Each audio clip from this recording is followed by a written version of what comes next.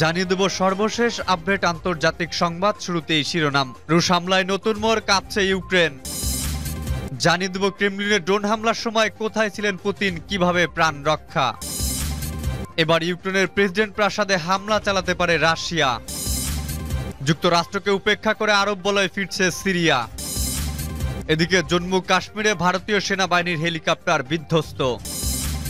সর্বশেষ জানিয়ে দেব, video viral Israeli পতাকা খুলে ফেলে দিল কাক। এতক্ষণ শুনছিলেন সংবাদ শিরোনাম, এবারে বিস্তারিত। তবে তার গাছকের সংবাদ সম্পর্কে আপনার মূল্যবান মতামত কমেন্ট করে জানিয়ে দিন। জানিয়ে দিন কোন স্থান থেকে আমাদের সংবাদ শুনছেন এবং দেখছেন। চ্যানেলটি সাবস্ক্রাইব করুন এবং সবার আগে সবচেয়ে সত্য নির্ভরযোগ্য সংবাদ শুনুন। রুশ হামলায় নতুন মোড় কাঁপছে ইউক্রেন। রাশিয়ার প্রেসিডেন্ট ভ্লাদিমির পুতিনের বাসভবন ক্রেমলিনে গতকাল বুধবার ড্রোন হামলার ঘটনা ঘটেছে, আর সেই হামলার দায় সরাসরি ইউক্রেনের উপর চাপিয়েছে মস্কো। যদিও মস্কো সেই অভিযোগ সরাসরি অস্বীকার করেছে কিয়েভ। এই ঘটনার একদিন পার হতে না হতেই ফের ইউক্রেনের কিয়েভে বিস্ফোরণের শব্দ শোনা গেল। দফায় দফায় কেঁপে উঠছে দেশটির রাজধানী। এছাড়া ইউক্রেনের ঝাপরিঝিয়া ওডেসা অঞ্চলেও হামলার খবর পাওয়া গেছে। অন্যদিকে বর্তমানে নেদারল্যান্ড সফরে রয়েছেন ইউক্রেনের প্রেসিডেন্ট ভলোদিমির জেলেন্সকি। তার হেক শহরে একটি ভাষণ দেওয়ার কথা রয়েছে। তিনি আন্তর্জাতিক অপরাধ আদালত পরিদর্শন করবেন। সেখানে ইউক্রেনে রাশিয়া সংগঠিত যুদ্ধ অপরাধের বিষয় তদন্ত চলছে। রাশিয়া সরাসরি অভিযোগ করেছে, ইউক্রেন পুতিনকে হত্যার চেষ্টায় ওই ড্রোন হামলা চালিয়েছে। তবে জেলেন্সকি সেই অভিযোগ খারিজ করে দিয়েছেন। গতকাল বুধবার তিনি বলেছেন, আমরা পুতিন বা মস্কোতে হামলা চালাইনি। আমরা আমাদের ভূখণ্ড রক্ষার লড়াই করছি। আমরা আমাদের শহর ও গ্রামগুলো রক্ষার চেষ্টা করছি।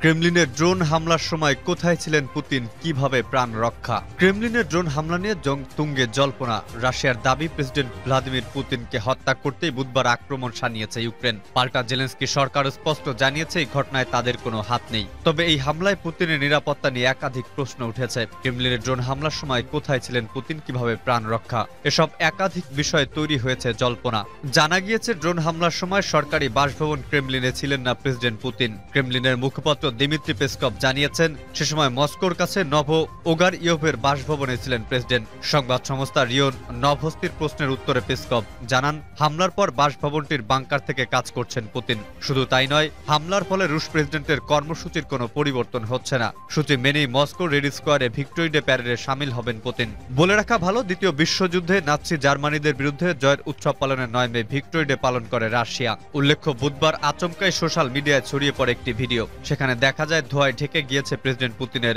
সরকারি বাসভবন। ক্রেমলিন লক্ষ্য করে উড়ে আসছে ড্রোন, এমনটাও দেখা গিয়েছে ওই ভিডিওতে। তবে পুতিনের বাসভবনে আসছে পড়ার আগেই ধ্বংস হয়ে যায় ড্রোন দুটি। নিরাপত্তা ব্যবস্থার কারণে ড্রোন দুটি নষ্ট করে দেওয়া হয়েছে বলে দাবি রাশিয়ার। হামলার পর থেকে মস্কোর আকাশে ড্রোন উড়ানোর নিষেধাজ্ঞা জারি করেন শহরের মেয়র সের্গেই সোবায়ানানি। এদিকে সঠিক সময় প্রত্যাঘাত করা হবে বলে ইউক্রেন হুঁশিয়ারি দিয়েছে ক্রেমলিনের তরফে। এই ঘটনার পর রুশ ইউক্রেন যুদ্ধের তীব্রতার মাত্রা আরও বাড়তে পারে বলে আশঙ্কা করছেন বিশেষজ্ঞদের একাংশ। ইউক্রেনের প্রেসিডেন্ট প্রাসাদে হামলা চালাতে পারে রাশিয়া। রাশিয়া ক্রেমলিনের উপর ড্রোন হামলার প্রতিশোধ নিতে ইউক্রেনের প্রেসিডেন্ট প্রাসাদে হামলা চালাতে পারে। এমনটাই আশঙ্কা প্রকাশ করেছেন পাভেল ফেগেন হাওয়ার নামে এক সমর বিশেষজ্ঞ। বুধবার কাতার ভিত্তিক সংবাদ মাধ্যম আল জাজিরাকে দেওয়া সাক্ষাৎকারে তিনি এই আশঙ্কা ব্যক্ত করেন। বুধবার ক্রেমলিনের পক্ষ থেকে অভিযোগ করা হয়, প্রেসিডেন্ট পুতিনকে হত্যার লক্ষ্যে মঙ্গলবার রাতভর ড্রোন হামলার চেষ্টা করেছে ইউক্রেন। ক্রেমলিন কর্মকর্তারা জানিয়েছেন, প্রেসিডেন্ট পুতিন ওই সময় ক্রেমলিনে ছিলেন না। তাছাড়া হামলায় ক্রেমলিনের বা ভবনের কোনো ক্ষয়ক্ষতি হয়নি। এ ঘটনায় রুশ কর্মকর্তারা সতর্ক করে বলেছেন, তবে তারা এটিকে সন্ত্রাসী হামলা হিসেবে দেখছেন এবং রাশিয়া এর জন্য প্রতিশোধ নেওয়ার অধিকার রাখে। রুশ কর্মকর্তাদের এই সতর্ক বার্তাকেই আলামত হিসেবে বিবেচনা করছে সোভিয়েত একাডেমি অব সায়েন্সের সাবেক জ্যেষ্ঠ গবেষক ফেগেন হাওয়ার তিনি আল জাজিরাকে সমর বিশেষজ্ঞ বলেছেন, রুশ কর্মকর্তারা যে প্রতিশোধ নেওয়ার কথা বলেছেন, সেটি হতে পারে ইউক্রেনের প্রেসিডেন্ট ভবনে হামলার জন্য নিজ সেনাদের নির্দেশ দিতে পারে রাশিয়া। ফেগেন হাওয়ার আরও বলেন, রাশিয়া যে অভিযোগ করেছে, এটি যদি সত্যি হয়, তাহলে কোন ড্রোন ব্যবহার করে হামলার ঘটনা ঘটেছে সেটি খুঁজে বের করা কঠিন হবে।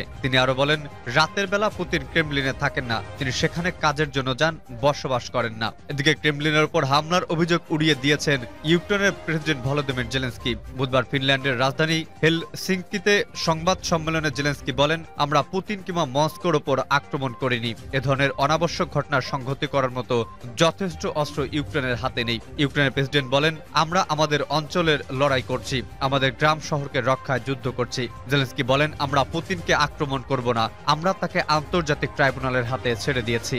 যুক্তরাষ্ট্রকে উপেক্ষা করে আরব বলয়ে ফিরছে সিরিয়া। তাদের দুজনকে দেখলে ঠিক স্বাভাবিক মিত্র বলে মনে হয় না। কিন্তু বুধবার দামেস্কে এই দৃশ্যই দেখা গেল। সুটপড়া ধর্ম নিরপেক্ষ Syrian president Bashar al Assad উষ্ণ অভ্যর্থনা জানাচ্ছেন দাড়িওয়ালা পাগড়াবি পরা শিয়া নেতা এবং ইরানি প্রেসিডেন্ট ইব্রাহিম রাইসিকে। দু হাজার দশ সালের আরব বসন্ত অভ্যুত্থানের পর সিরিয়ার কোন ইরানি নেতার এটাই প্রথম সফর। এর পরবর্তীকালে সিরিয়া যখন রক্তাক্ত গৃহযুদ্ধ চলছে, তখন বাশার আসাদের সরকারকে রক্ষার জন্য সবচেয়ে বড় মিত্র হিসেবে আবির্ভূত হয়েছিল ইরান। সাথে ছিল রাশিয়া। এমন এক সময় সিরিয়ায় ইরানি প্রেসিডেন্টের সফরটি হচ্ছে যখন ওই অঞ্চলটিতে নাটকীয় সব পরিবর্তন ঘটে যাচ্ছে। একসময় সিরিয়া তার প্রেসিডেন্ট বাশার আল আসাদ গোটা আরব বিশ্বে একঘরে হয়েছিলেন। কিন্তু এখন সেই প্রতিবেশীদেরই কারও কারও সাথে সিরিয়ার প্রেসিডেন্ট আক্ষরিক অর্থেই বুকে বুক মেলাতে দেখা যাচ্ছে। একের পর এক আরব দেশ এখন সিরিয়ার সাথে সম্পর্ক স্বাভাবিক করার জন্য পদক্ষেপ নিচ্ছে এবং তারা এটা করছে মার্কিন যুক্তরাষ্ট্র এবং ইউরোপের বিরোধিতা উপেক্ষা করে। আগামী উনিশ মে সৌদি আরবের রাজধানী রিয়াদে আরব লীগের শীর্ষ সম্মেলন অনুষ্ঠিত হবে। আশা করা হচ্ছে যে সিরিয়াকে পর্যবেক্ষক হিসেবে উপস্থিত থাকতে দেখা যাবে, যার পরে কোনো এক সময় তারা আবার আরব লীগের পূর্ণ সদস্যপদ ফিরে পাবে। আরব ব্রিটিশ সমঝোতা কাউন্সিলের পরিচালক ক্রিস ডয়েল বলেছেন, সিরিয়ার ক্ষেত্রে আন্তর্জাতিক সম্প্রদায়ের ভূমিকার ক্ষেত্রে যে শূন্যতা সৃষ্টি হয়েছে তা ভারত স্থানীয় শক্তিগুলো এখন এগিয়ে আসছে। রাশিয়া ছাড়া মধ্যপ্রাচ্যের বাইরের যে আন্তর্জাতিক সম্প্রদায়, তারা তাদের হাত ধুয়ে ফেলে সিরিয়ার ব্যাপারে তাদের দায়িত্ব ত্যাগ করেছে বলেছিলেন ডয়েল। এই শূন্যতার মধ্যেই আঞ্চলিক শক্তিগুলো এগিয়ে এসেছে বলেন তিনি, কারণ তারা দেখছে যে এখানে যদি কোনো কিছুই না বদলায়, একটা প্রকৃত রাজনৈতিক প্রক্রিয়া শুরু না হয়, তাহলে আমরা একটা অঞ্চল হিসেবে সিরিয়াকে তো উপেক্ষা করতে পারি না, কারণ সিরিয়া একটি বড় এবং গুরুত্বপূর্ণ দেশ। জম্মু কাশ্মীরে ভারতীয় সেনাবাহিনীর হেলিকপ্টার বিধ্বস্ত। ভারত শাসিত জম্মু কাশ্মীরে দেশটির সেনাবাহিনীর একটি হেলিকপ্টার বিধ্বস্ত হয়েছে। সেখানকার কিস্তাওয়ারা জেলায় এই দুর্ঘটনা ঘটে। এখন পর্যন্ত দুই ক্রুর আহত হওয়ার খবর পাওয়া গেছে। বৃহস্পতিবার এনডিটিভির এক প্রতিবেদনে তথ্য জানানো হয়। এরই মধ্যেই ঘটনাস্থলে উদ্ধার অভিযান শুরু হয়েছে। গত দু মাসের মধ্যে ভারতে এটি তৃতীয় দুর্ঘটনা। এর আগে ষোলো মার্চ মহড়া চলাকালীন অরুণাচল প্রদেশের মান্ডালায় ভারতীয় সেনার চিতা হেলিকপ্টার বিধ্বস্ত হয়। ওই ঘটনায় লেফটেন্যান্ট কর্নেল ও মেজর পদ মর্যাদার দুই পাইলট নিখোঁজ ছিলেন। সম্প্রতি প্রশিক্ষণ থেকে ফেরার পথে যুক্তরাষ্ট্রের আলাস্কায় সেনাবাহিনীর দুটি হেলিকপ্টারের মধ্যে সংঘর্ষের ঘটনা ঘটে। এতে অন্তত তিন সেনা নিহত হয়। আহত হন আরও এক সেনা। দেশটির সেনাবাহিনীর এক বিবৃতিতে জানায়, ঘটনাস্থলে দুই সেনার মৃত্যু হয়। তৃতীয় জনের মৃত্যু হয়েছে হাসপাতালে নেওয়ার পথে। ইসরায়েলি পতাকা খুলে ফেলে দিল কাক। ফিলিস্তিনের দখলদার ইসরায়েলের পতাকা ঠোকরাতে ঠোকরাতে খুলে ফেলে দিচ্ছে এক কাক, এমন একটা ভিডিও ঝড় তুলেছে সোশ্যাল মিডিয়ায়। এটি শেয়ার করে অনেক ফিলিস্তিনি বলেছেন, ইসরায়েলের ধ্বংসযোগ্য দখলদার তো মেনে নিচ্ছে না অভুজ কাকও। আরব নিউজের খবরে জানা যায়, পতাকাটি ফিলিস্তিনের ইসরায়েলের অধিকৃত একটি ভবনের ছাদে টাঙানো ছিল।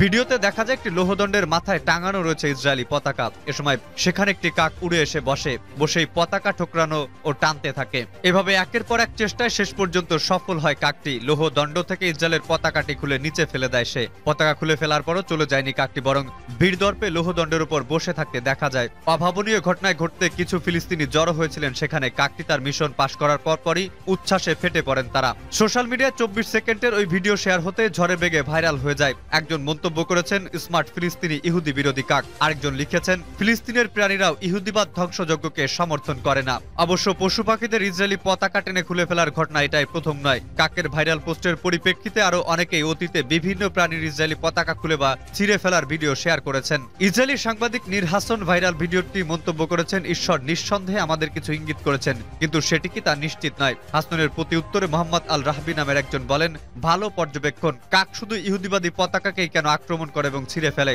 ফিলিস্তিনি পতাকা কেন নয়? বস্তুত সর্বশক্তিমান ঈশ্বরের ইঙ্গিত এবং এটি চিরতরে অধিকৃত ফিলিস্তিন ভূমি ছেড়ে যাওয়ার সময়।